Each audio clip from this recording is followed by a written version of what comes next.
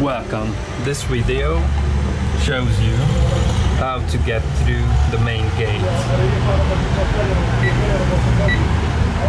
Two numbers, key sign, then four numbers. But the door is buzzing, push it and you can open it. Bye bye.